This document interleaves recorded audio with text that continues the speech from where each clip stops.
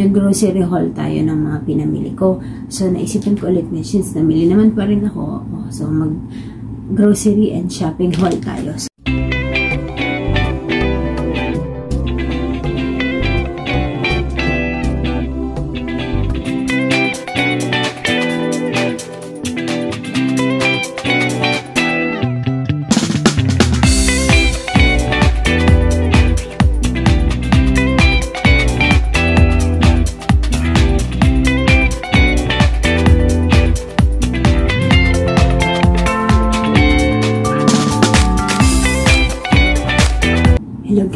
guys! Welcome po sa aking channel at ngayon ay galing po ako sa city at nag-release po yung aking passport so magkakataon ko nang makalabas kaya ang ginawa ko eh namili na naman po ako.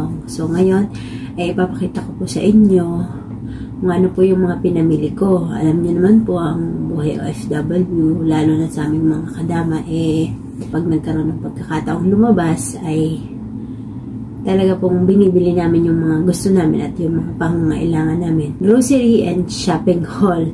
Pero bago po ang lahat, kung bago ka po sa akin channel, ay huwag niyo pong kalimutang mag-subscribe. Palike na rin po ng video kung nagustuhan nyo at huwag niyo pong kakalimutan na i-click ang notification para po updated ko kayo sa aking mga susunod na video. So tara na guys, mag-umpisa na tayo mag grocery and shopping haul. So, ipakita ko sa inyo kung ano yung aking mga nabili. Itong aking nabili na to, eh, doon lang to sa may tinatawag nila dito sa city na Giordano Building.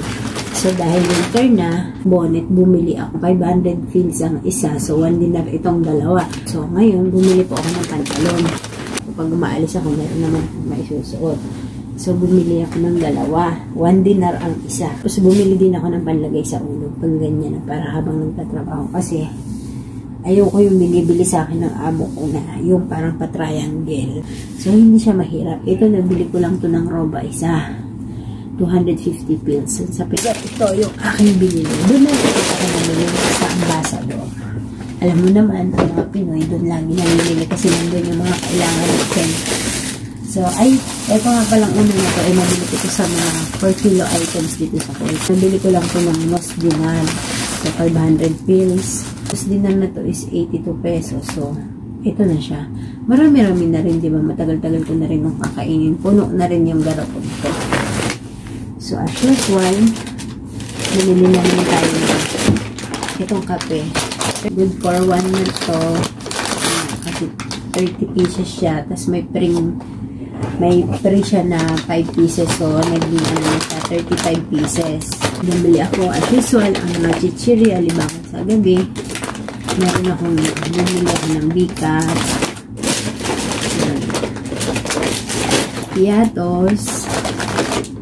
Tapos ito ang dingdong bumili ako nito ano lang ito? Nos dinar tapos ito, oh, tingnan natin yung suko. Ito yung suko, 350 pills isa. Nakakita ako ng raw na peanuts. Ayan.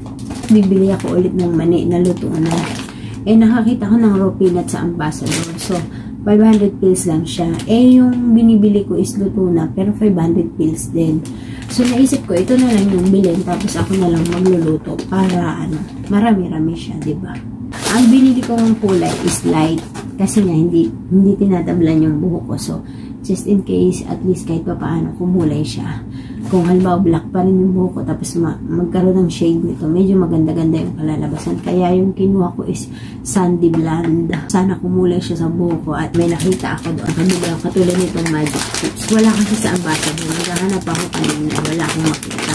Kasi si magic chips is ano siya cracker siya diba so Inisip ko rin na bubulay just in case, diba? Nakakabusog siya. Alam niyo ba kung anong nabili ko? Charan!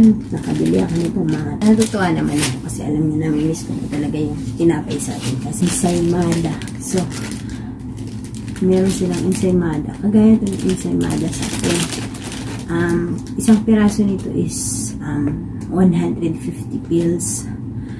Tapos, kumuha akong dalawang donut, dalawang Spanish bread nakatatlong ensaymada para sa 1 dinar. So, nakabili ako ng um, wireless headset to Bluetooth. So, medyo mahal nga lang to, pero maganda. Bago siya malobat, 3 days. mm, yung kausap mo nagkakaintindihan kayo. 10 dinar siya, binigay niya ng 10 dinar sa akin. Tapos, sabi ko, wala nang bawas. Tinawaran ko pa siya. So, binigay niya sa akin to ng 8 dinar. Maganda talaga siya. Ang tagal ko na siyang gamit kanina pa. Tsaka medyo mabigat siya. Tapos, may mga accessory siya dito na ah, ito, pwede siyang, meron pa siyang extra ano, headset din na pang isahan lang. Tapos, may charger. Ayan. Tapos, nandito yung manual niya. Saka ko na siya titignan yung manual niya. So, kaya ko rin ito binili kasi nagandahan ako. Kasi, tsaka kailangan ko talaga siya. Kasi, alam mo yung ang hirap ng, ng nagtatrabaho ka, tapos may kausap, tapos minsan kumakain ka. Kasi, yung, yung time natin, lalo na sa kami mga kadama, di ba yung oras namin is yung mga natitira namin oras, yung mga bakante namin oras, yun yung time namin para tumawag sa pamilya. So, pag kumakain, minsan pag namamlansya, may ginagawa, pwede rin tumawag na nakabulsa yung cellphone. Tapos, kausap lang, kahit walang video call, usap lang, maganda siya na meron kang ganito para maganda siya, hindi siya nai-interrupt, continuous yung gamit ko sa kanya, hindi siya nalulubat. Susulit yung binayad ko. Tsaka ganito talaga yung hinahanap ko ng Bluetooth na headset ano, yung long last siya, tsaka yung malinaw, yung conversation nyo malinaw, tapos hindi nag interrupt yung aking signal sa cellphone, kaya maganda siya. Tsaka ito pa yung isa kong nabili guys, excited ako dito. Kasi matagal na itong, matagal ko nang gustong bumili ito, kaso alam niyo na medyo tight yung budget kasi syempre papadala natin sa Pinas, sa family.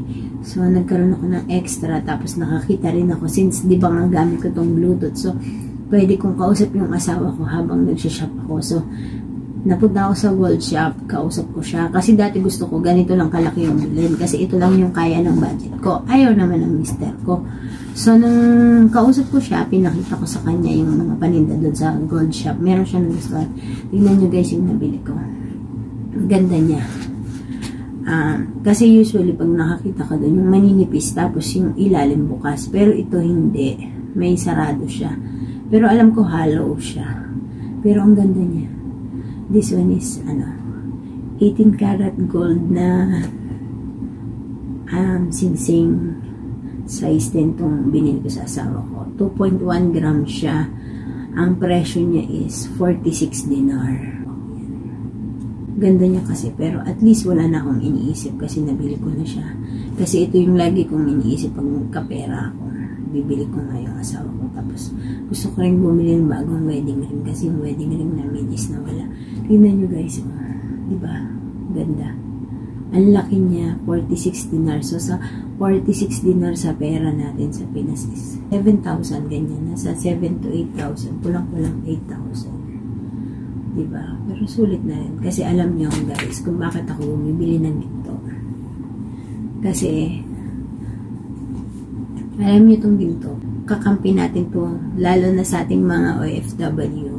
Kakampi natin ito pag uwi natin sa Pinas. Kasi, kung hindi tayo, hindi man tayo makapag-ipon, kung meron tayong mga ganito, eh malaking bagay para sa ating mga OFW, lalo na yung mga nandito sa Middle East kasi alam niyo naman mura ang gold dito, mura ang ginto, maganda pa ang quality.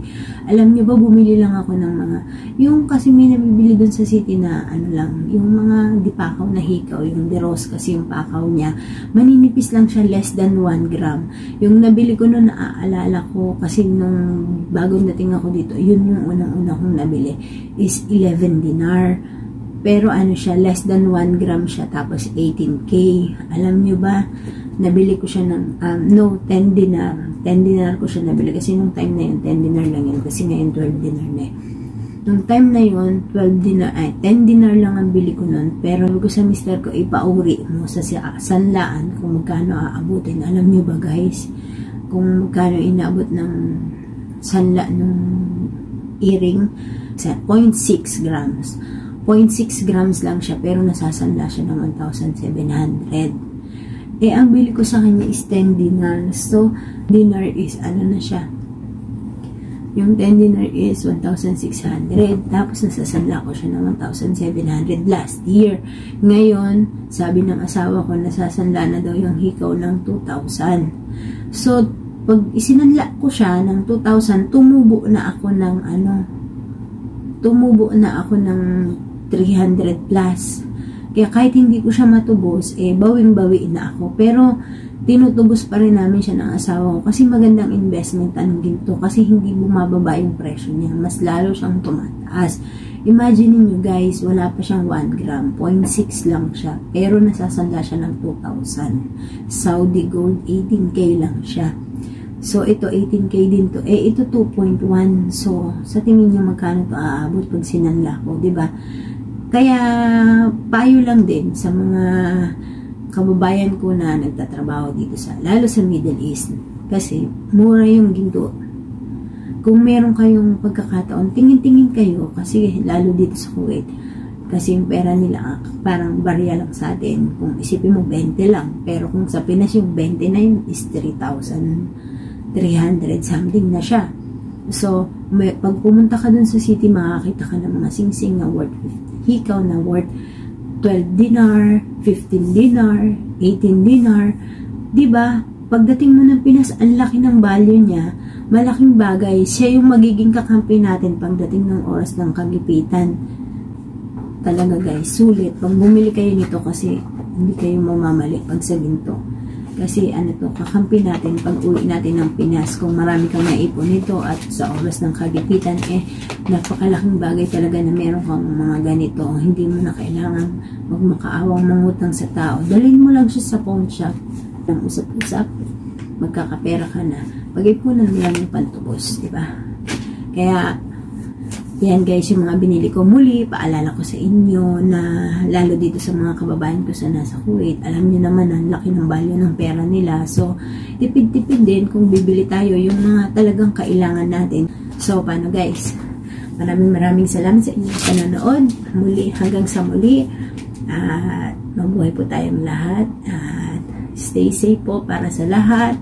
Maraming maraming salamat po sa inyong pagpanood and nagpapasalamat din po sa aking mga members sa pagsuporta nila sa aking channel na si, si Alay Kurot, kay Balukan, si Ate Emma Conado, si Windel Merto, and si ang aking pong classmate na si Renel Murcia. Salamat po sa, ako sa kanila sa pagsuporta sa aking channel and suportahan din po ninyo yung mga channel nila. Subscribe nyo po silang lahat at malaking tulong din po yan para sa mga channels nila at pa-watch din po ng kanilang mga video. Hanggang sa muli po, maraming maraming salamat. Stay safe everyone. Salamat. Thank you. Love you all.